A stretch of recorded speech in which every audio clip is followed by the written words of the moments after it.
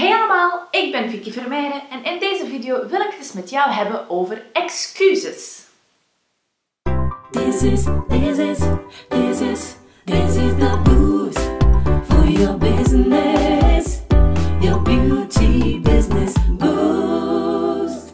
Tijdens workshops en persoonlijke coaching sessies krijg ik dagdagelijks wel te maken met excuses. Excuses als Verkopen aan die klant. Die koopt toch nooit. Ik heb helemaal geen tijd om aan mijn marketing te werken. Ja, maar ik ben helemaal niet goed met computers. Je hoort het al. Dit zijn gewoon simpele excuses om toch maar iets niet te moeten doen. Misschien zelfs uit een soort van angst. Want oké, als die ene klant niet wilt kopen, hmm, hoe lang is het al geleden dat je daar dan productadvies aan hebt gegeven? Doe dat toch maar eens. En je zal merken dat die klant misschien wel koopt, maar dat het misschien iets in jou is dat niet durft te verkopen. En niet goed werken met computers? Je hebt waarschijnlijk wel een aantal mensen in jouw omgeving die je daar heel graag even bij willen bijstaan. Of je kan bij mij bijvoorbeeld een Social Media for Dummies cursus komen volgen. Of wanneer je bijvoorbeeld zegt dat je geen tijd hebt om je marketing te doen, dan kijk je in je agenda.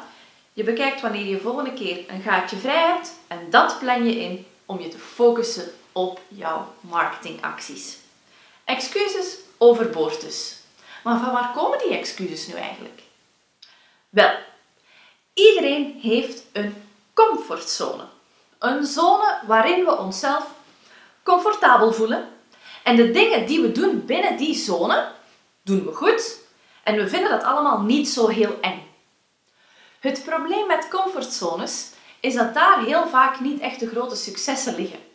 Er zijn heel erg veel quotes die uitleggen dat succes niet in jouw comfortzone zit, maar dat je net je eigen angsten moet overwinnen om aan een bepaald succes of dus een bepaald doel te halen. Een voorbeeld ben ik misschien zelf voor deze camera. Een aantal jaar geleden besliste ik dat ik video's moest opnemen om mijn marketing te stimuleren. Goed, ik kwam ook met tal van excuses. Want, oh, mijn camera zal wel niet goed genoeg zijn. Of hoe moet ik dat dan doen met licht en geluid? En hoe bewerk ik dan die video? Goh, en ik zal wel niet mooi genoeg praten om video's op te nemen. Het ene excuus was al beter dan het andere om het toch maar niet te doen. Maar toch zou je je op een gegeven moment over je eigen angsten heen moeten zetten, omdat je weet dat wanneer je die bepaalde actie doet, dat je daar uiteindelijk de vruchten van plukt. En hoe vaker je die ene actie doet, hoe meer dat die actie binnen jouw comfortzone komt en hoe zelfzekerder je daar ook in wordt. Verkopen of advies geven is daar een heel erg goed voorbeeld in. Wanneer je elke dag opnieuw een adviesgesprek doet bij je klanten, helemaal in het begin gaat dat een beetje oncomfortabel zijn, een beetje gênant misschien dat je dat moet doen. En dus ver uit jouw comfortzone. Maar hoe vaker je zo'n adviesgesprek doet, hoe meer dat in jouw comfortzone komt, hoe beter jouw gesprek uiteraard zal zijn. En je zal merken, je klanten beginnen effectief meer producten te kopen. Dus, wat zou jij moeten doen om jouw zaak beter te kunnen laten draaien? Wat zou die ene actie kunnen zijn? Noteer die actie en dan noteer je ook al jouw excuses die jou nu tegenhouden om die ene actie te doen. Vanaf die excuses op papier staan, merk je vaak dat die misschien een klein beetje belachelijk zijn of gewoon simpelweg dat je merkt dat die jou tegenhouden om die ene actie te doen.